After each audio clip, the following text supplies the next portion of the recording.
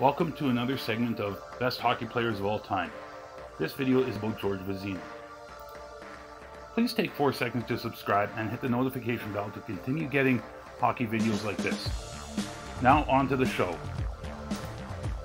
Before Vezina played for the Canadiens, he played for the Chicoutimi Hockey Club. Montreal offered him a contract in early 1910 after he shut out Montreal in an exhibition game. He turned it down. Montreal returned in December of that year, and this time they managed to convince George and his brother Pierre to try out for the team. Unfortunately, his brother did not make it. George played his first game with Montreal on December 31st, 1910, and would go on to play all 16 games that season, finishing with 8 wins and 8 losses.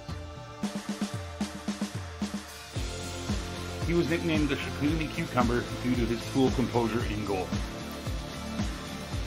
Vezina would become the only goalie to play for Montreal from the 1910-11 through the 1924-25 season. He would lead them through the transition from the NHA to the NHL. He would also lead them to the Stanley Cup Finals five times, winning twice in 1916 and 1924. George Vezina would allow the fewest goals seven times in his career, four in the NHA and three in the NHL. He was the first NHL goalie to record a shutout and the first to get an assist. Vezina finished his hockey career with a combined NHA and NHL total record of 173 wins, 148 losses, and 6 ties in 328 games. Unfortunately, George Vezina collapsed during a game on November 28, 1925. He was diagnosed with tuberculosis and died on March 27, 1926.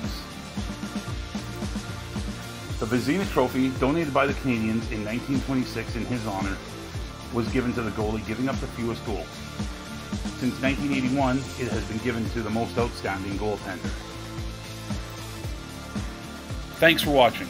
Please take a few seconds to subscribe and hit the notification bell and the thumbs up as well.